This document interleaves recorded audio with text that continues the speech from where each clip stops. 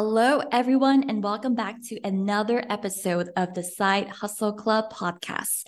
Today, let's talk about becoming known for something. So, I think that for many of us, we have this inner desire for recognition because I've noticed a common thread among myself, our clients, and also for some of you who are in our community. I've noticed that number one, we care deeply about something. Like there's something that we care so much about, right? And we want to do quality work and help people in relation to this area or this topic or thing that we care about. But also, number two is I've noticed that for many of us, we also want to be recognized. Yes, we want to do good work, but we also have this inner desire to be recognized for the good work that we do. Yes, we want to help a lot of people, but we also want to be known as the person who genuinely cares about helping people. Yes, we have an innate work ethic and we're so dedicated to what we do, but we also want want to be known as someone who is deeply committed to their craft and someone who works hard towards making an impact in this world. So, this episode is dedicated to all of us who have big dreams, not only in terms of the income and impact that we want to make, but we also have these big dreams when it comes to building a body of work, becoming known for our unique thought leadership, and also amplifying the messages or causes that matter to us.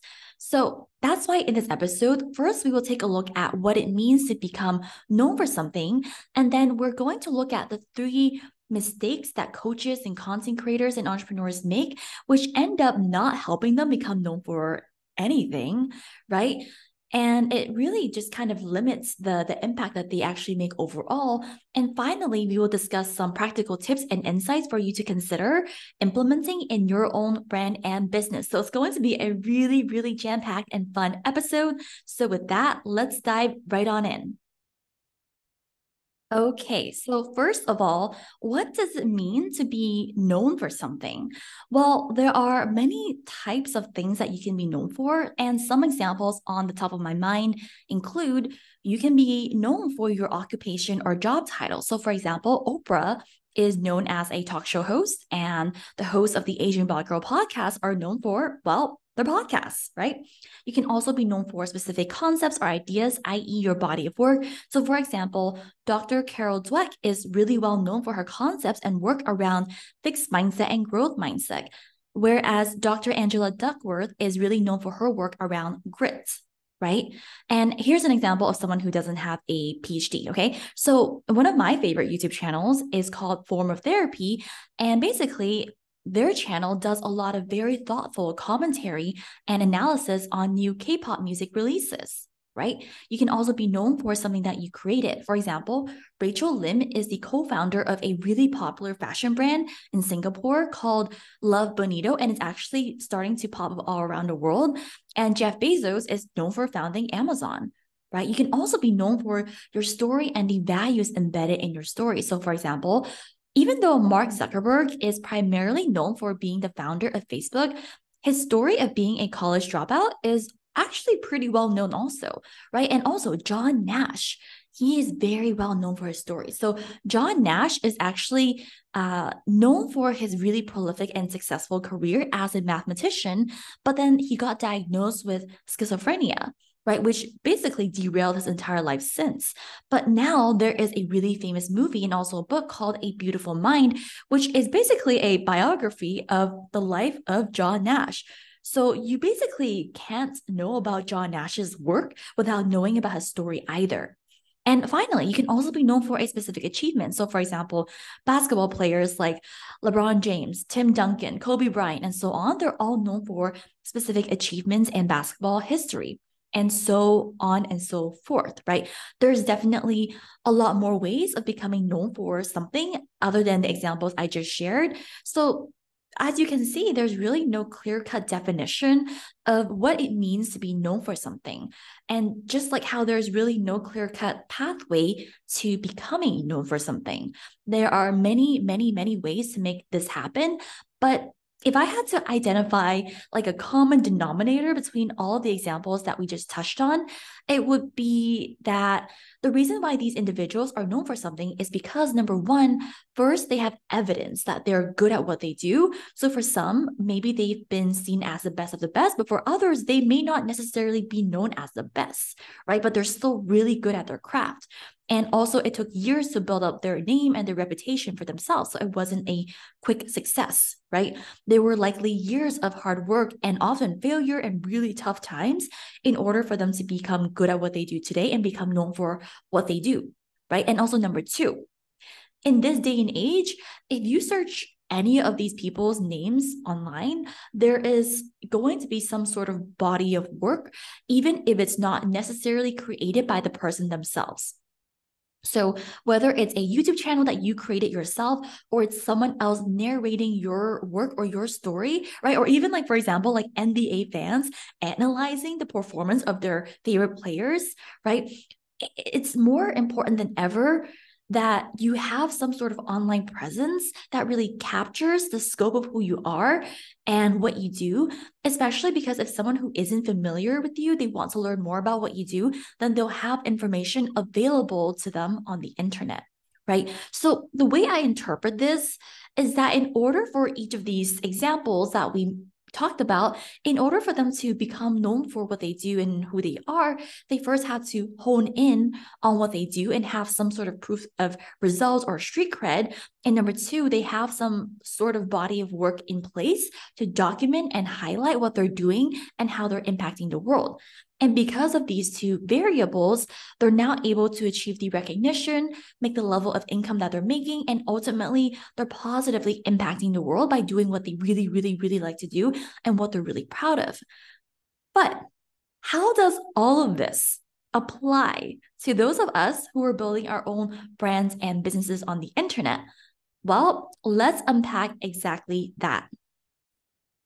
Okay, so I want to first start by using myself as a mini case study to illustrate a few points. So, at the moment, I would say that I am known for several things. So, first, I'm known for my story of quitting law school when I realized that I was chasing prestige and the ego desire of impressing others, and that law was not the career where I could do work that I was really proud of or be of service to the world, right? In my own way right? And I'm also known for my story of quitting my PhD because the pandemic resulted in me being separated from my loved ones for nearly two years. And I realized that in this next season of my life, being with my loved ones mattered more than finishing a PhD. So I decided to quit the PhD.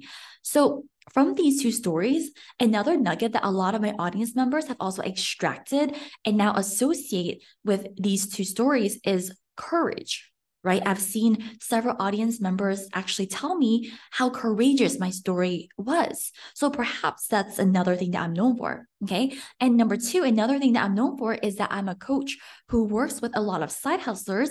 And I specifically focus on teaching the skills of thought leadership and soft launching, right? And even on my application forms, when clients apply to work with me or on sales calls with me, a lot of clients have said that they specifically want to learn the skill of thought leadership from me, or they want to learn how to soft launch and sign clients on zero to two hours a week, right? And I'm also known for like a few miscellaneous fun things like sharing a lot of cats and my content and marketing, or how I was in a long distance relationship for almost five years and using a lot of sparkle emojis in my Instagram stories, right? But for the purpose of this conversation, let's just focus on the first two examples. So, with the first two examples that we just talked about of what I'm known for, I had to work through my own resistance to sharing them, to embodying them, or even becoming known for them, right? So, first, when it came to my story, there was a time when I was really, really, really worried about what people will think, right? Will they think I'm a quitter who can't commit to anything? Will they judge me for not being legit enough since I quit grad school two times? Do they think that it's only because of my privilege that I'm making such rash decisions, right? I had a lot of fear and deeply rooted anxiety about sharing these parts of my story. So, as you may have guessed, like there were moments when I wanted to just like gloss over my story or like water it down or like polish it up so it sounds more rational or like super smart. Like it was super smart of me to quit grad school. Right? And that is exactly the first mistake that a lot of people fall into, which leads them to not becoming known for anything, including their story, right? So the first mistake is actually editing your story, your words, your message in order to be more palatable, more polished, more smart sounding, etc. Right? But what happens is that when you edit and polish your story, for example, is that although your story might read well and sound crisp and clean and clear, the thing is that people can't really feel you. It's just nice sounding, but that's it. It doesn't really impact people deeply. It doesn't make them think. And it doesn't make anyone pay more attention to you and who you are and how you can help them. Right when you're editing and editing and polishing and polishing out of the fear of being judged, not wanting to ruffle feathers, and maybe even a flavor of people pleasing, I would argue that you end up becoming just another entrepreneur in a very saturated marketplace. A brand that looks and feels like everyone else, and no one sees you as a thought leader, and your content doesn't stop the scroll. So, for myself, I first had to learn to really be proud of my story, my message, and what I do, and then learn to create safety for me to share what I really am deeply proud of online. So, that's the first thing. But now let's talk about the skills that I'm known for, right? Such as thought leadership and soft launching. Well, when I was in the earlier stages of my my journey, I definitely was not known for thought leadership or soft launching. Instead, I fell into the the loop of looking around at what my colleagues and my niche were doing and how they were selling and how they were positioning the program. And I felt like, well, if it's if it's like working for them, then I should do the same thing, right? So for a while, my content and marketing, it was very, very, it was very, very generic, right? It sounded just like any other business coaching program sold by someone who just jumped into the business coaching space because they signed a few clients in another niche and now they wanted to help people sign clients too, right? Like that's how my content and marketing and brand was coming across, in my own opinion, right? So that's the second mistake that stops a lot of people from becoming known for something, which is that when we spend so much time looking at what our colleagues are doing and modeling after them in our content, in our marketing, on our websites, and so on, that does not communicate to our audience how we are positioned to help them, how confident we are that we can help them, or why they should work with us today, right? It doesn't communicate any of that when we're crafting our every step after what other people are doing. And instead, we just become a very watered down version of our colleagues. That's what it communicates to people.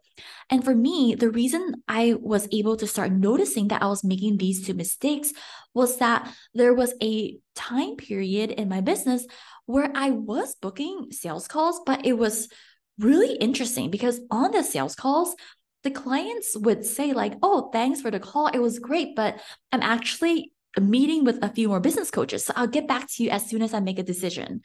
And that's when I realized, oh, they were interviewing me, right? They see me and the others as just like options that they wanted to interview and see like who they like best and maybe who had the best value for money program. And that's when I realized, Cheryl, you're not known for anything. You're not known for anything, and your audience just doesn't know why they should work with you over someone else who's doing very similar things as you. And from then on, I started to make shifts in my content and in my marketing and overall brand so that number one, I could differentiate me and my work in a saturated niche. And number two, I'm also now known for my story and the particular skills that I teach inside my program. And number three, I'm now also able to call in the best fit clients to my program who then will come onto the sales call knowing that I am the coach for them. And guess what? I no longer get the objection or like hesitation of, thanks for the call, but I have a few more discovery calls coming up. So I'll let you know. Thanks. I don't get that objection anymore. Okay, so now let's talk about some practical tips that you can apply in your own business and brand right now. And these are tips that were actually inspired by a book that I recently read. So, this book was called Galileo and the Science Deniers by Mario Livio. So, in a nutshell, this was a biography book about the life of Galileo Galilei, who was born in 1564. Okay, so way back when. And this was basically a book or biography written by one of his big fans, super fans, who just happens to be an astrophysicist. So that means that he really understood Galileo's scientific work deeply. And he was he was also a really, really good writer who was very compelling with his words. So I really just love reading the book. But but anyways, so in the preface of the book, the author shared his thoughts on why the Hubble Space Telescope which is essentially the great great great grandson of Galileo's telescope, right? So he was explaining why this Hubble Space Telescope has been described as one of the most recognizable projects in scientific history. Okay, so the six points that the author then described were number one, the Hubble produces spectacular images. Number two, the Hubble has contributed to a wide range of scientific discoveries. Number three, the drama associated with the telescope. Number four, the genuine and pure dedication of scientists who use the telescope. Number five, the telescope's longevity. So, meaning it was launched in 1990 and it's still being used to this day, right? And number six, a lot of dissemination of knowledge and outreach programs to spread the research and the findings produced by the telescope. So, the reason why I'm sharing this is because we can actually apply each of those six bullet points to you, your business, and your brand right now. So, let's unpack that. Okay, so the first point was that the Hubble produces spectacular images. And how this translates for us is that we can produce a spectacular quality body of work right now. So, the key thing to note here is the emphasis on quality rather than quantity.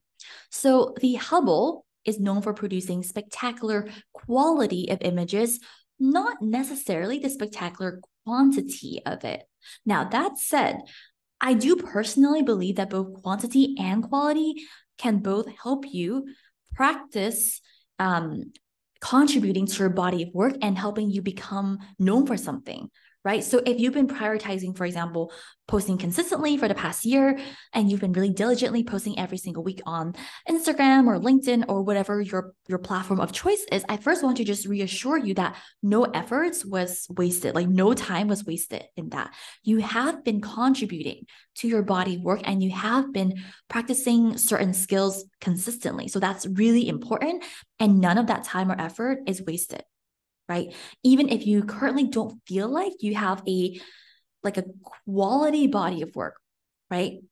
Okay, but now let's say um that you perhaps maybe you did focus on consistency or quantity, but now you're really questioning like, okay, I want to like amp up my quality of work. So here's what I want to say to this. So generally speaking, there's a lot of quote unquote best practices or like tips that generally make a lot of sense and they they work and they're very helpful right? So one tip that i can offer here and it's something that i've done myself is to create a habit tracker to track how often you've been practicing a particular best practice or a tip okay? So for example right now like literally right now i'm actually tracking the following things on my instagram stories. Number one how often i share my story Number two, the energy in which I make an offer from. Number three, how often I share my mission and vision. Number four, how often I share my unique process. And number five, how often am I backing up every abstract concept with either a metaphor or like a concrete example so I can really ground that concept for my audience, right? And notice how I didn't say like, oh, I'm tracking how often I'm, I, I post on Instagram stories right? Or like how often I make an offer. Like that's not what I'm paying close attention to, but rather I'm paying attention to how I am doing a particular item or practicing a certain skill on Instagram stories, right? So when it comes to building a quality body of work, to help you become known for something, there honestly there's no shortage of like best practices for your messaging, content, copywriting and so on that you can implement and hone, right? And although all of them are likely very helpful, I would suggest picking just a handful to practice at a given time. So that way you can learn to really milk the benefits of these tips and best practices so that you can turn up the overall impact and potency of your content without necessarily having to like turn up the quantity or frequency of how often you post, right? And when you're known for really good content that is helpful, thought provoking, and really well articulated, people start to pay attention even more to what you have to say next. So that is the first tip for today. Okay. Now, the second bullet point was remember, the Hubble has contributed to a wide range of scientific discoveries.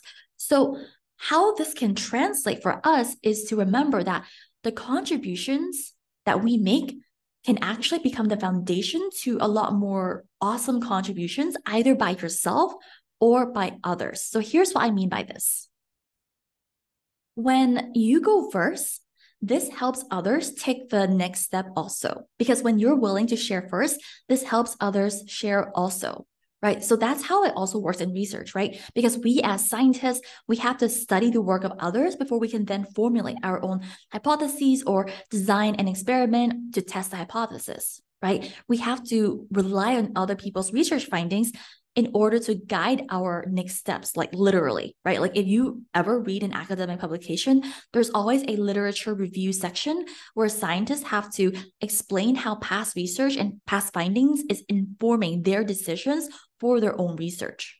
So, how this applies to your business and brand is to recognize that becoming known for something, it doesn't just mean you, right? Like, as in, it's only you that's getting all the spotlight, or you are the only person getting the recognition or are being benefited by, by your efforts. But instead, it's also remembering the purpose behind why you're even doing what you do and becoming known for something. Because my guess is that if you're a listener of this show, then being of service to this world matters just as much to you than getting recognition for the work that you do right? So so more specifically what i mean by this is when you're building a body of work remember to consider how to make your content message story etc even more relevant helpful as accessible and so on to the people who actually want your work right? Who you actually want your work to reach and impact right? So to the earlier point, right? There's a lot of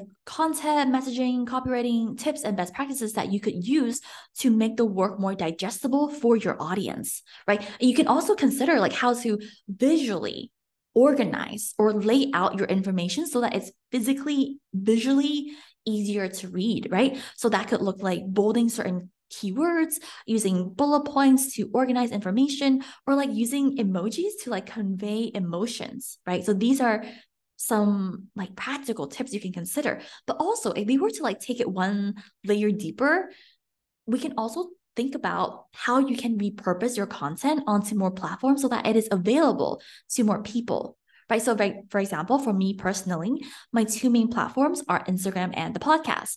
And these are the two main platforms where I create fresh new content on a weekly basis.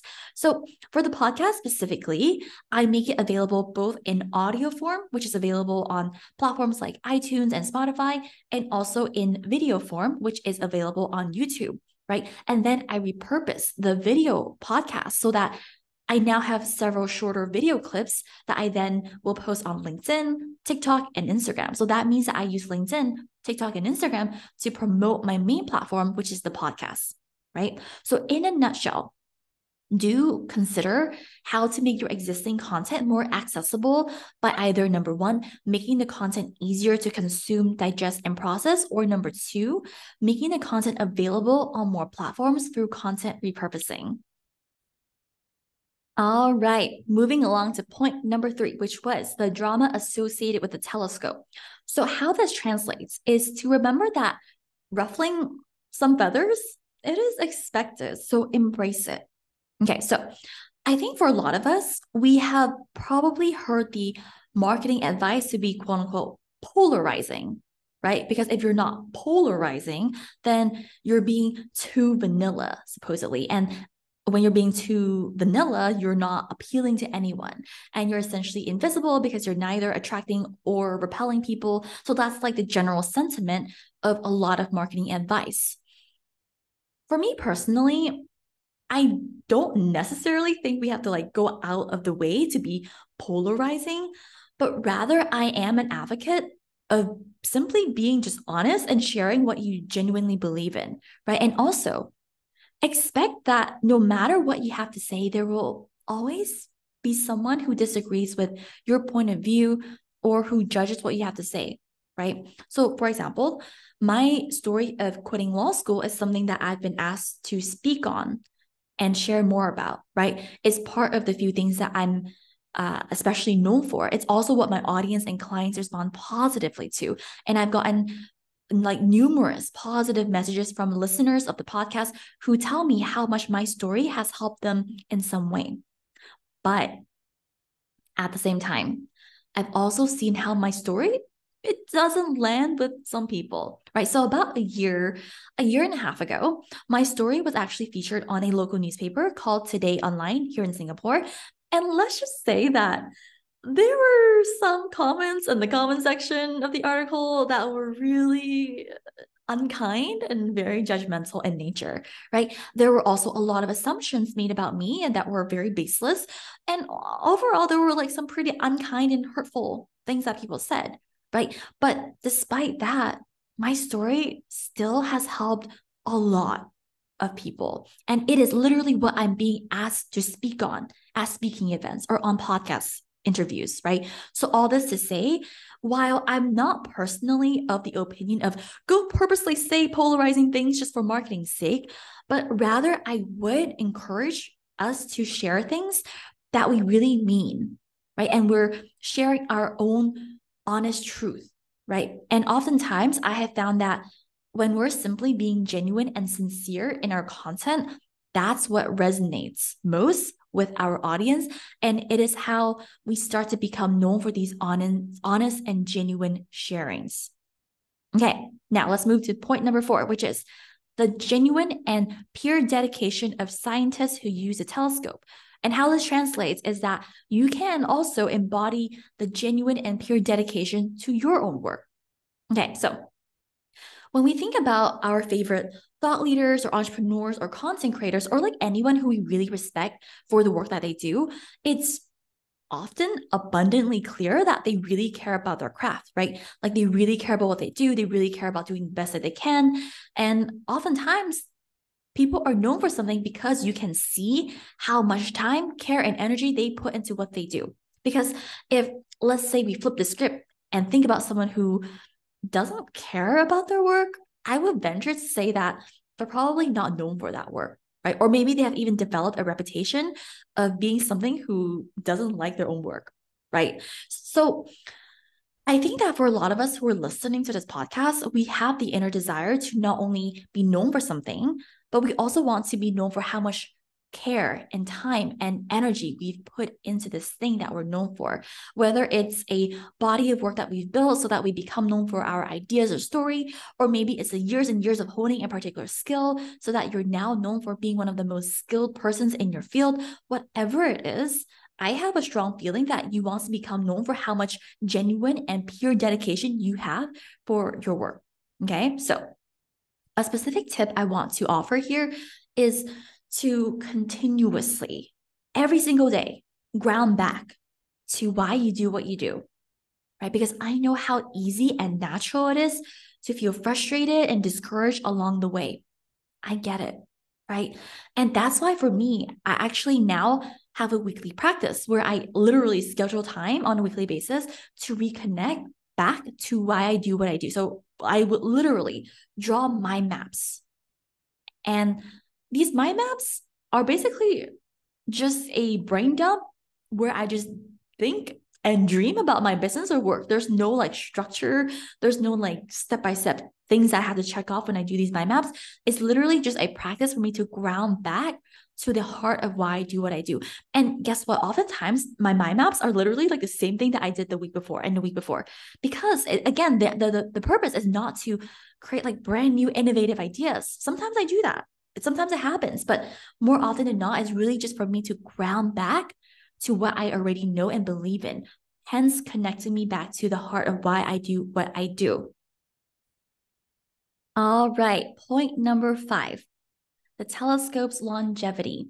So, how this translates for us is you can choose to stay in the game for the long haul and continue growing your body of work in your selected field, craft, industry, etc. So the point here basically ties in very nicely with the earlier one, which is I do believe that the longer that you choose to continue what you do, then naturally the more your impact in that field or area is going to compound right? Because the more you stay in the game, then the more perspectives that you develop, the more experience you acquire, which then helps you produce a body of work even more compellingly and also help you become even better at the particular skills or your craft.